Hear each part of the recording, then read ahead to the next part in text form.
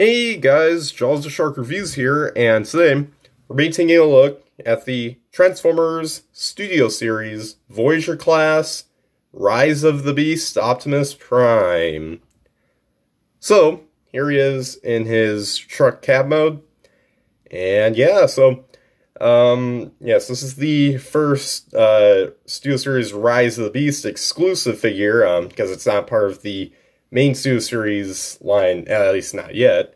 Um, that is because it is released under the Buzzworthy Bumblebee uh, line, um, and thus meaning it's a Target exclusive, which also means it's probably hard for many people to get a hold of this guy.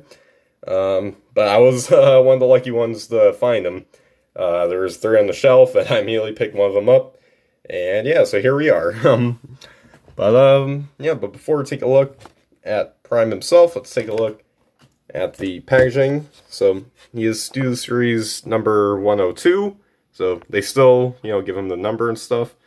Uh, so here's the packaging. Uh, really dig it. I mean, it's um, it would still be nice to get a normal normal release, so you know it's more fitting in with the you know rest of the line. But um, I guess that's all we got for now. So um, obviously you get the Buzzworthy Bumblebee Studio Series themed packaging.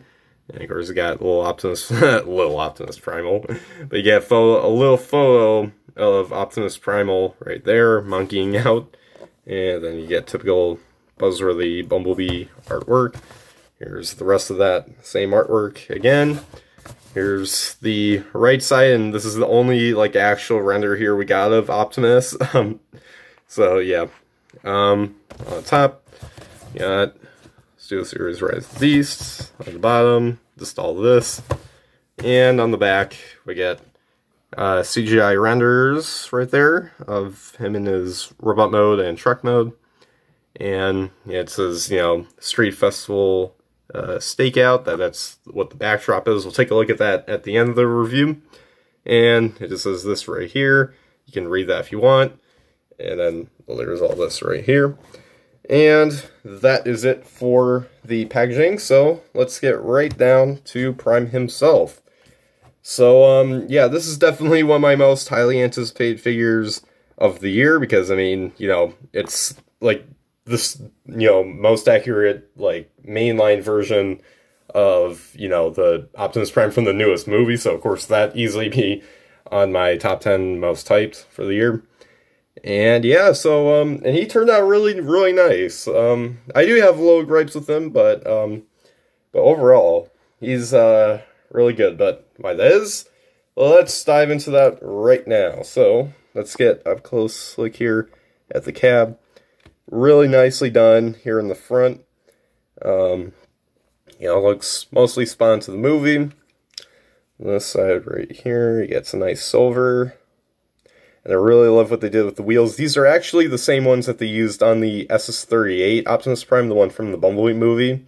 So that's pretty cool. Um, yeah, because one of the designers actually showed like what parts that they reused from that uh, Prime.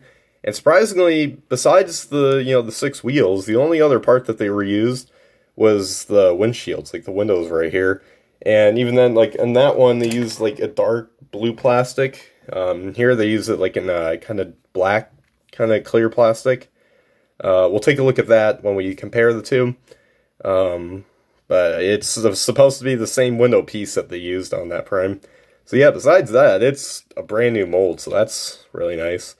Uh, this is my only gripe with um, this truck mode. It's this thing. Now, a lot of people have been, you know, bashing on it. I don't think it looks that bad. Like, I mean, well, this this part looks fine. Uh, but this part, yeah, they, I mean, it doesn't look good, but I don't see what else they could have done to, you know, fix that. Again, they could have reused the legs from the SS-38, but, you know, it's, yeah. well, discuss my thoughts on those legs when, you know, uh, you know, we do the robot mode comparisons. Um, but yeah, this, this is my only gripe, though. Uh, I mean, this, mean, this being right here, that's accurate and stuff, but it's, you know, uh, it's, yeah, it's, it's just a bunch of blue kibble right here, but, um, yeah. Here's the top. I, uh, you know, it would be nice if they use, like, a red plastic right here, so it's more consistent. And the bomb here, well, this typical bomb of the truck, Optimus Prime, you know, right there. Uh, no visible head syndrome, thankfully. So, uh, yeah, really, really nice overall, though. Uh, do quite dig it. Now, apparently some people have been swapping this this Prime's legs with the SS-38, and, like, they have it transformed. And I will say, that does make the truck look better. It doesn't make the robot mode look better, though, because, well, the feet on that one. Uh, again, we'll look at that in the uh, robot mode comparisons later on. So, um, yeah, really, really nice. Of course, you can roll. So, hey, that's nice. And yeah, so uh, that's pretty much it for all the details and stuff. Now, for the accessories, he does come with his cannon, which obviously was in the movie. Uh, however, just a little cannon piece. It's not like the whole um, big, like, arm thing. Uh, so but there are upgrade kits for that, so you can always check those out if you want. Uh, but yeah, here's this. It's just in uh, all gray plastic. Um, but I think it looks alright. Uh, would be nice if it was a little bigger, but yeah. Um, here's all around. So yeah, um, for storage, there are two slots right here, and you can just put that right in there, and there you go. So that's uh, one of the accessories, the other accessory is his sword. Um, and I think they did a really nice job with it. It's like in this like kind of gunmetal gray paint, and it's over blue plastic. I think it looks nice. Uh, it would have been nice if they had add more paint because obviously in the movie there was a lot more detail to this than what we're seeing here. But you know, I could live with it. Uh, so for storage for that, you're gonna have to uh, untransform uh, this part, you're just to have to split this apart. Um, that's all you got to do. And you got to go under here. Just look under here. And you got to take the sword. So there's this little uh, peg right here. And there's two holes on either side. And what you want to do is you just want to kind of bring this in and make sure it's positioned like this specifically. And you just want to put that peg into that hole right there. And oops, just kind of squeeze that all in. And what, what I really like though is that they mold in like uh like this like little clear area as you can see right here specifically so that the the sword like this part can actually go in there like you see right there that that I really like that they did that uh, but yeah then finally you just want to squeeze this all together make sure it's all compact together and then once you got that there you guys have the sword storage I think that's uh, really nice you know uh, nice and clean you know, hides away everything. Um, yeah, it's it's it's not too noticeable when you see it, so that I do like. Um, even the cannon, it's not too noticeable. So, uh, pretty good, pretty good storage. It doesn't look too ridiculous, so I do like that. Um, but um, yeah. Oh yeah, another complaint is uh, they didn't give him a trailer hitch. I mean, not that I care because he didn't have a trailer in the movie, but it would be a nice little inclusion. They did give that to the Bumblebee movie Prime, but I mean, to be fair, we did see him with a trailer. It's just they didn't give him one. I wonder if someday they will, but we shall see. So, anyways, now for the alt mode size comparisons. Uh, here he is with Arcee right here. Oop. Yeah, there's those two. Um, here he is with Bumblebee.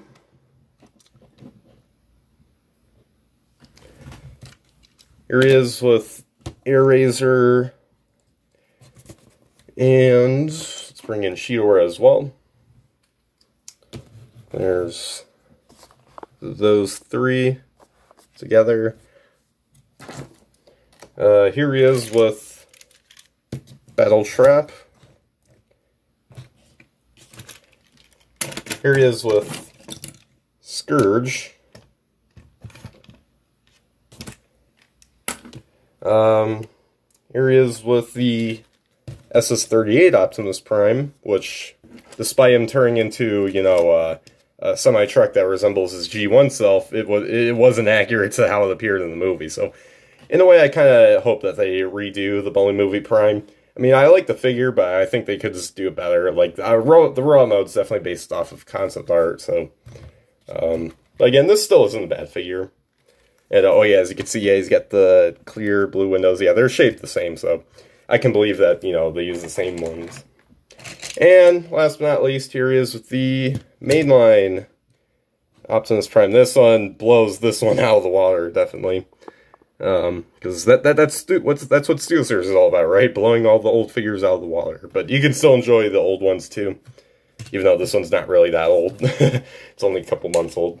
Well, technically, mold's been around for a year because you know Hasbro factories, production, all that stuff. But it's been out in the public for a few months now. Um, so that is it for the alt mode. So let's get right down into the transformation. Cool. So starting off, let's remove the uh, accessories. Get those out of the way. All right. So um, all right. So starting off, uh, what you want to do is you want to well uh, flip in these right here, and then you just want to untab those blue pieces right here. And then split apart the legs. And then just next, move down the feet. Then rotate them forwards and do the same thing right here. Uh, then next, you just want to uh, down this blue piece right here. And then bring down the shin piece right here. And this will all tab together. And just do the same thing right here and connect that. There we go. Now we got the legs done. Hooray! okay, so let's bring up the camera here. He's a he's a standing up truck now. He he walks. He walks. Okay, so um then the next thing is you just want to simply flip up the this panel right here and do the same on this side. And then after that, um, untab the grill piece right here and then bring that down. And then after that, just move out the arms and at the same time bring down these panels. And then after that, you just want to flip up these gray pieces up here. And then they will snap into place. And then bring the arms forward. But before you want, before you do that, you just want to kind of bring this back around here and then um, as you can see those gray pieces there um, between the shoulders will move up and then click into place. Uh, and there you go. Uh, so then after that you just want to flip up these panels and then rotate out the hands. There's that. And then next fold over these uh, pieces right here. And I want to do the same thing right here. And rotate that around, close that up, and then close that right there up. And then uh, move up these panels right here. And same there. Okay, so we got the arms done. Now, uh, next you just want to swivel around the abdomen. And then after that, you just want to open up the uh, torso pieces, chest pieces I should say, and then flip up the head, and then until it clicks into place there, and then next bring down that panel right there that covers his face, and then close up the chest panels, and then finally what you want to do is, um, so there's these little uh, tabs right here that go uh, in between this part right here, and that should just click into place, there we go. And once you got that all done, there you guys have Optimus Prime in his robot mode. And yeah, I gotta say, this this is definitely where the figure shines, because, oh man, this this looks so good. I, I don't care what anyone says, this looks fantastic. I mean, most people will probably agree with me, but this, I, whoever hates on this figure, I, I don't care what they say. This is a nice looking Optimus Prime. So, yeah, uh, Hasbro, you you better release this for like not just you know targets. You should you gotta re release this under normal uh, Series packaging because I know there's people out there. I I was one of them that was trying to look for this guy for a couple days or so, and I you know and then he kept selling out, and I finally found one. Yeah, yeah, you gotta re-release this because you know otherwise there's there's gonna be limited amounts, and then not everyone's gonna get it. So or at least not everyone who really wants it can't get it. So Uh, I want that opportunity to be available for everyone. But anyways, let's get back to the figure itself. So yeah, um, so let's take a look at the head sculpt and details. Uh, okay, so that head sculpt, perfect, just perfect. Because with the uh, the Bumblebee movie one, it was I guess I'm assuming it was based off concept art, like we saw on the artwork for that figure, and it didn't look too much like like it, it, like you could tell it's supposed to be Bumblebee Movie Prime, but it's like an original version. Like his head was a little wider and stuff. It looked closer to the cartoon, I guess you could say. We'll compare that, you know, in the comparisons later. But this right here, they they actually nailed the head sculpture right here. Um, so if you want an accurate Bumblebee movie uh, slash Rise of the Beast Prime head sculpt, then get this guy. like maybe buy another one and just give it to your Bumblebee movie Prime because this this looks a lot better.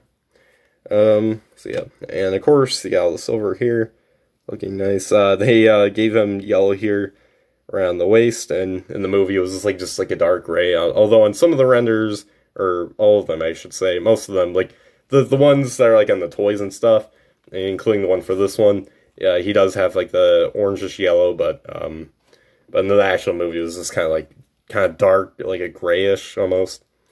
Um, I think it still looks good here. Still feels more like Prime that way. Uh, so yeah. And really nice silver here for the knees. And I really like the detailing that they put into the shins. And the feet, they fix the feet. That, that that's why I don't want to swap the like the legs with um or like yeah, the legs with this guy with the S38 because this guy's got better looking feet.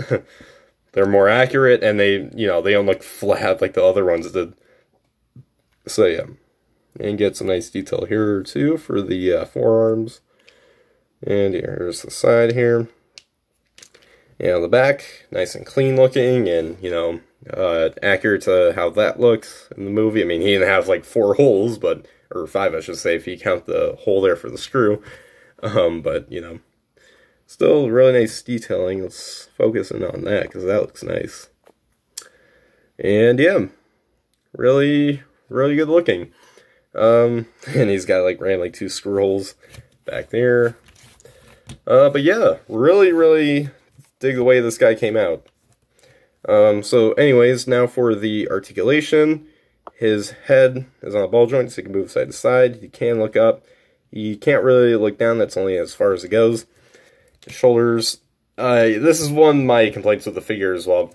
He's got this shoulder movement, or just kind of like you know, collides in, and I don't like that. Uh, what you could do, though, is you just take back this piece right here, and then bring this down, and you could close that back up. And if you want him to have, like, in-out movement this way, then you could do that. You don't get a lot, but you get some in and out movement that way. So, um, but yeah.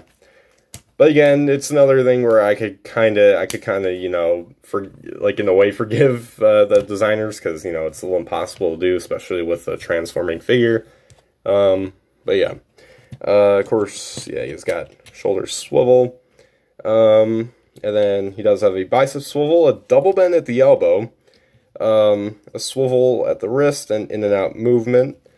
Uh, waist swivel. He does technically have an ab crunch too because of his transformation, so I do like that.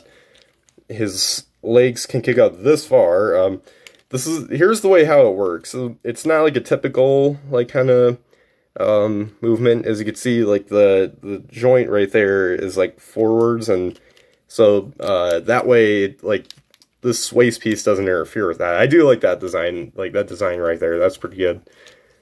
Um, he does have thigh swivel. His knees can bend this far.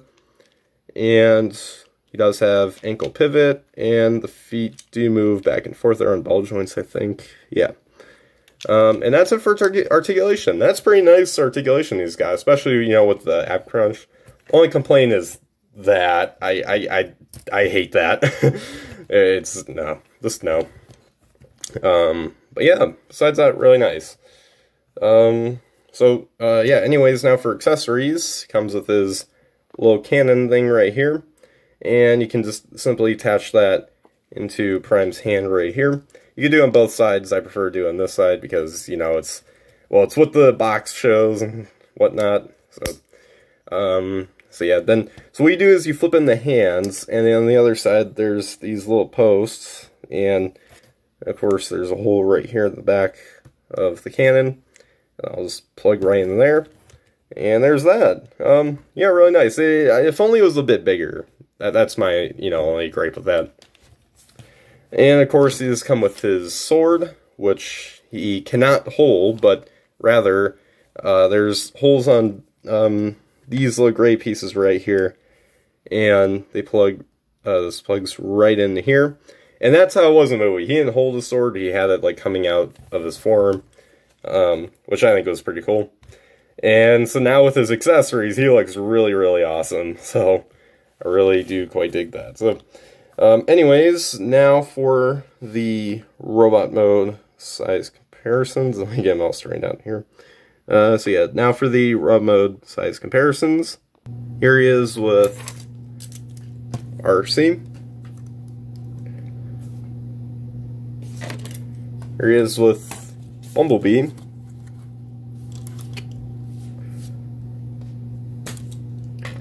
Here he is, well, why not? Let's just do this funny little comparison. Here he is with uh, Freezer, just why not? um, here he is with, let's move him to the center. There he is with Airazor and Cheetor.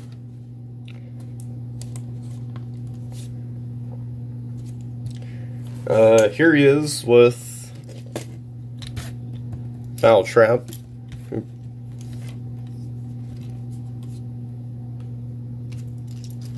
Here he is with Scourge. This is really good scale right here, I'd say.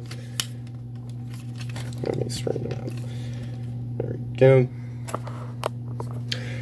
Uh, here he is with the SS38, and yeah, as you can see, he's got these horrible looking feet. like, I'm sorry, but those feet just look horrendous. It looks, it looks like, um, these feet, but like they like squashed them in and like squared them in. It's, uh, I don't know. But I still like SS38 though. That, that still is a good figure, but honestly, th this guy is for the win. Um, in like, except for like, I mean, this guy has like more proper outward articulation. That's one of the areas where he wins, and he also wins in terms of you know the back of the truck. But aside from that, I think this guy takes the cake. Um, but again, I still do like this guy. I kind of wish though they made a more accurate one. So yeah. And last but not least, here he is with the original mainline one. And uh, yeah, this is more Voyager scale. This is only a little bit taller than the deluxe. That is not a Voyager scale. I'm sorry that that's no. But still good figure though. But um, I like this one more, like way more because you know he's got more detail paint and stuff, and you know he's he's a lot more fun. But I still like this guy. Whatever you prefer is your opinion. So um, yeah, that's pretty much it for the robot mode size comparisons. I don't know how I missed this, but I completely forgot one step.